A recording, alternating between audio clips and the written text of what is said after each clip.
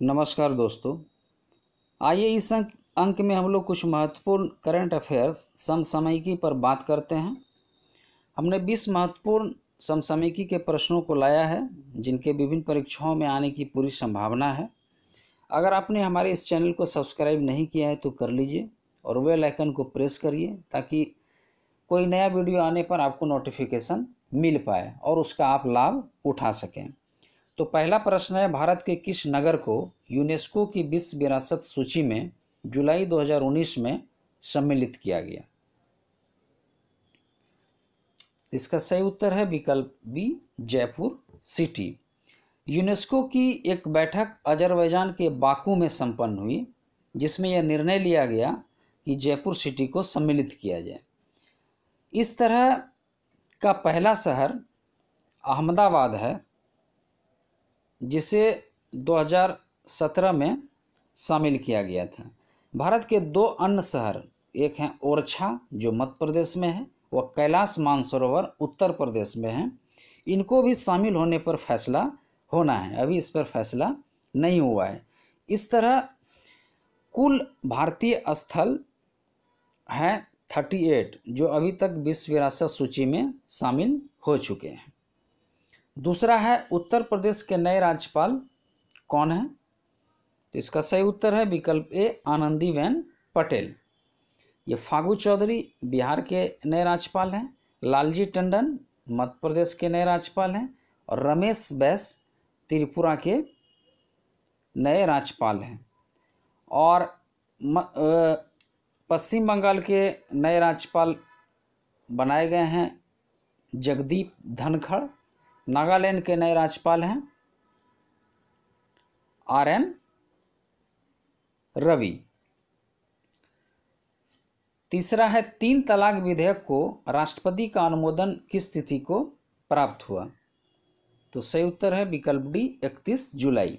इकतीस जुलाई को तीन तलाक विधेयक पर राष्ट्रपति ने हस्ताक्षर किया। इसके बाद यह कानून बन गया। चौथा है, बाघों की संख्या के मामले में दूसरा राज्य है। सही उत्तर है विकल्प बी, कर्नाटक। पहला स्थान है मध्य प्रदेश का।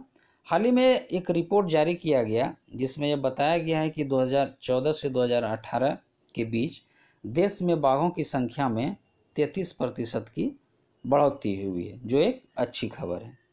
पाँचवा है, भारत के किस महिला धावक ने जुलाई 2019 में विभिन्न प्रतियोगिताओं में कुल पाँच गोल्ड मेडल या स्वर्ण पदक जीता है। इसका सही उत्तर है विकल्प बी, हिमा दास।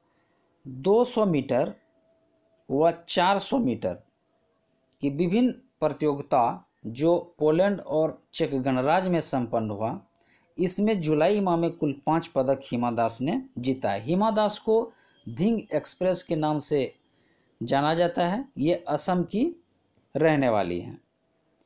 हाल ही में एक दूती चंद्र के नाम से भी रिकॉर्ड बना कि किसी अंतर्राष्ट्रीय एथलेटिक मीट में 100 मीटर दौड़ में स्वर्ण पदक जीतने वाली भारत की पहली धाविका हैं। ये पुथु गुप्ता हैं, पृथु गुप्ता। ये भारत के चौंसठवें नए ग्रैंड मास्टर हैं और आशा लता देवी हैं, जिसे कि वर्ष 2018 में सर्वश्रेष्ठ महिला फुटबॉलर घोषित किया गया। छठा है 6 जुलाई 2019 को जारी ग्लोबल इनोवेशन इंडेक्स 2019 में भारत की कौन सी रैंक है?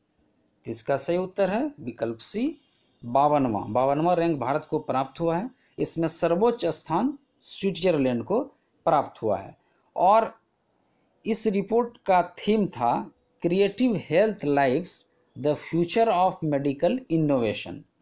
और इस आ, इंडेक्स का आकलन अमेरिका की कार्नेल यूनिवर्सिटी, फ्रांस स्थित इंटरनेशनल बिज़नेस स्कूल व यूनो की विशेष संस्था, संयुक्त राष्ट्र संघ की विशेष संस्था, वर्ल्ड इंटेलेक्चुअल प्रॉपर्टी ऑर्गेनाइजेशन द्वारा किया गया।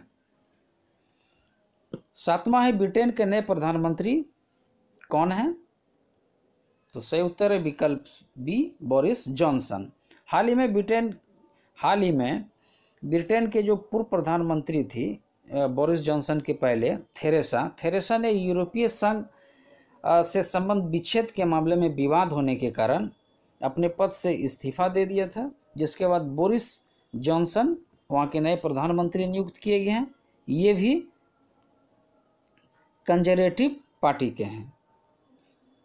आठवां है, किन दो देशों के बीच पहली बार माल परिवहन हेतु अंतर्देशीय जलमार्ग का उपयोग किया गया। इसका सही उत्तर है विकल्प ए, भूटान व बांग्लादेश। पहले अंतर्देशीय जलमार्ग का प्रयोग घरेलू व्यापार के लिए किया जाता था, लेकिन हाल ही में राष्ट्रीय जलमार्ग संख्या दो, जो ब्रह्मपुत्र नदी पर है, इनका प्रयोग करते हुए भूटान व बांग्लादेश के बीच व्यापार किया गया। नौवा है किस अंतर्राष्ट्रीय संस्था के अध्यक्ष ने हाल ही में अपने पद से इस्तीफा दे दिया है?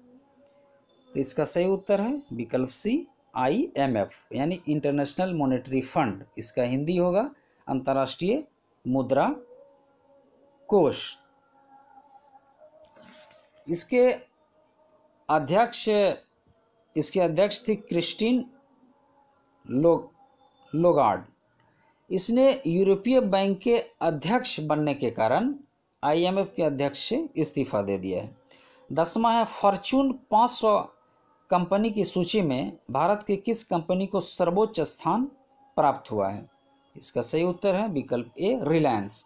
और विश्व में सर्वोच्च स्थान मिला था वाल मार्ट को, जो अमेरिका की कंपनी है और ये रिटेल क्षेत्र की कंपनी है। और भारत भारत की कुल सात कंपनियों को 500 कंपनियों में स्थान प्राप्त हुआ, जिनमें सर्वोच्च स्थान रिलायंस इंडस्ट्रीज़ को प्राप्त हुआ है। ग्यारहवा है, विश्व खाद्य पुरस्कार 2019 हेतु किसे चुना गया?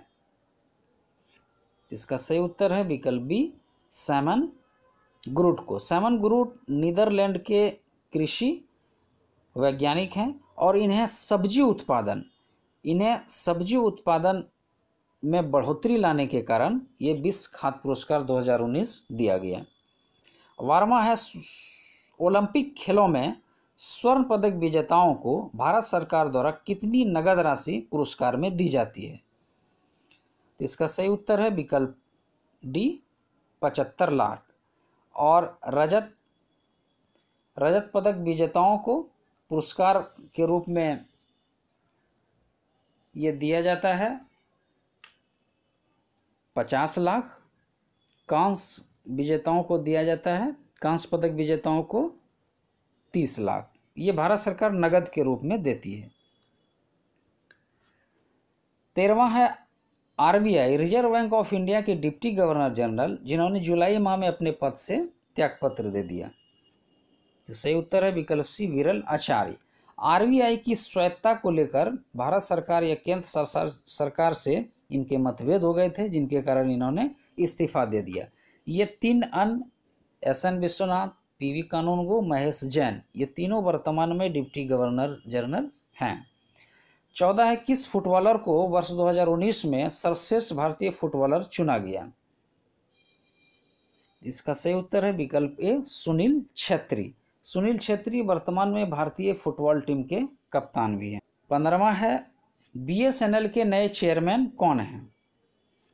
तो सही उत्तर है विकल्प ए, प्रवीण कुमार पुरवार। बीएसएनएल यानी भारत संचार निगम लिमिटेड के नए चेयरमैन हैं। ये शारदा कुमार हैं, राष्ट्रीय आवास बैंक के नए प्रबंध निदेशक, अजय कुमार भल्ला हैं, देश के नए गृह सचिव और राजीव कुमार हैं, देश के नए वित्त सचिव। सोलवा है वर्ष 2019 में किस तिथि को अर्थ ओवरशूट डे मनाया गया?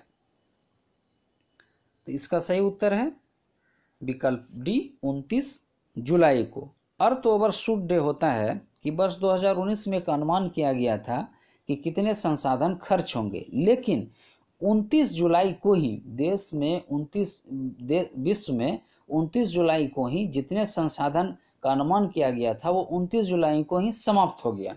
तो इसीलिए एक अनुमान के आधार पर 29 जुलाई को अर्थ ओवरशूट डे मनाया गया। उन्नीस सौ सतासी में इस डे की कल्पना अर्थशास्त्री एंड्रयू सिम्स ने की थी। सत्रह है कोपा अमेरिका कप 2019 किस देश ने जीता? इसका सही उत्तर है विकल्प सी, ब्राज़ील ने। ब्राज़ील ने जीता है। ब्राज़ील ने पेरू को तीन एक से हराकर ये कोपा अमेरिका कप 2019 जीता है और ये कप फुटबॉल से संबंधित है। अठारहवा है विम्बलडन 2019 का महिला एकल विजेता कौन है? तो सही उत्तर है विकल्प D, Simona Halep. Simona Halep जो रोमानिया की है, इन्होंने महिला एकल के फाइनल में सेरेना विलियम्स को हराया। पुरुष एकल का विजेता था आपका नोवान जोंकोविच, जो सर्बिया के हैं। नोवान जोंकोविच ने हराया रोजर फेडरर को, जो स्विट्जरलैंड के हैं। पुरुष एकल के फाइनल में एक रिकॉर्ड बना कि विम्बलडन के इतिहास में सबसे लंबा फाइनल चला। सबसे लंबा पुरुष एकल का फाइनल विम्बलडन में अभी तक के इतिहास में चला था। उन्नीसवा है तीसवें ग्रीष्मकालीन विश्वविद्यालय खेल का आयोजन। जुलाई 2019 में किस देश में हुआ? इसका सही उत्तर है विकल्प ए, इटली। इटली के शहर नापोली। नापोली में इसका आयोजन किया गया और इसमें सर्वोच्च स्थान जापान को प्राप्त हुआ। और इसका शुभांकर था पार्टी नोप। पार्टी नोप को शुभांकर बनाया गया था। और इकतीसवें विश्वविद्यालय ग्रीष्मकालीन खेल चीन में संपन्न होंगे। 2021 में चीन का एक शहर है चेंगडू में। चेंगडू में संपन्न होंगे।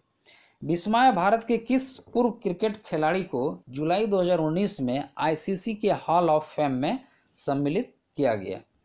तो सही उत्तर है विकल्प C, Sachin Tendulkar. Sachin Tendulkar hall of fame में शामिल होने वाले ये छठे खिलाड़ी हैं और पाँच अन्य खिलाड़ी अभी तक थे। ये थे विशन सिंह वैदी सुनील गवास्कर, कपिल देव, अनिल कुंबले, राहुल द्रविड़। ये था बीस महत्वपूर्ण समसामयिक करंट अफेयर्स के प्रश्न।